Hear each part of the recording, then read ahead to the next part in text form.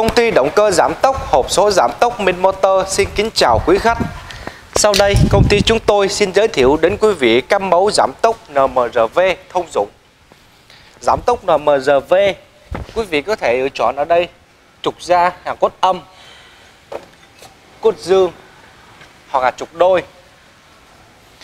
Đây là kích thước của bộ giảm tốc RV size 50 được gắn với motor có công suất 0,37 kW 4 cực.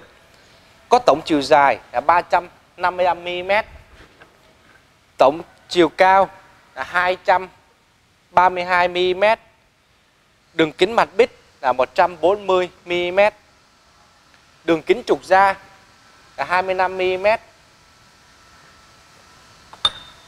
Chiều dài của trục ra là 50 mm Tốc độ trục ra của motor sau khi qua giảm tốc là từ 300 vòng trên phút đến 15 vòng trên phút.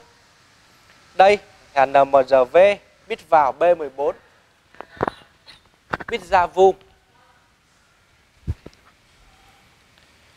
Motor bit B14 được gắn với NMRV bit B14. Quý vị có thể điều chỉnh được nhiều tư thế áp đặt bằng cách xoay như sau.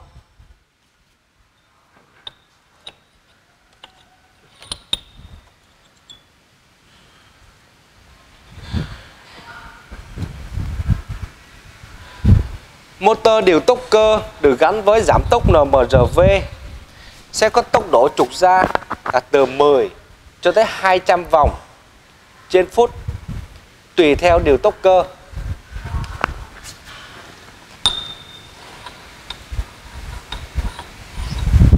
NMRV bit vào vuông được gắn với motor mini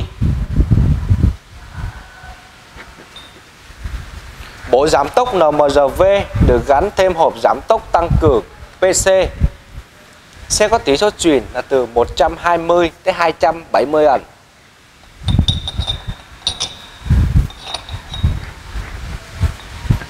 Bộ giảm tốc NMRV 2 cấp sẽ có tỷ số truyền là từ 120 cho tới 1 phần 10 ngàn.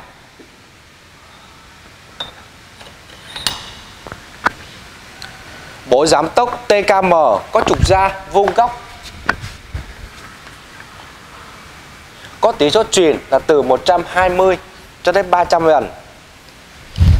Các mẫu giảm tốc khác có thể gắn vào motor công suất 0,37 kW Cốt vào dương nằm dưới